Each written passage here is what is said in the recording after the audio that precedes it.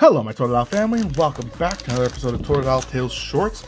We're about halfway through our Crown Zenith openings. I don't know how many packs we are in, but we're... Oh, what's that? Oh, V-Star. V-Star token. I was so confused what that was. Trekking Shoes, Luxio, even though I've opened a whole bunch of other cards.